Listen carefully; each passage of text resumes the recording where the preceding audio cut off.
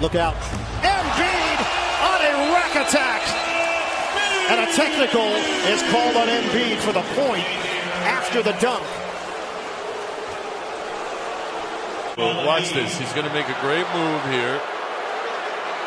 Hollis Jefferson gets there late, and that that's worthy of a technical. Partner. Sixers force another turnover. Embiid, it's for three.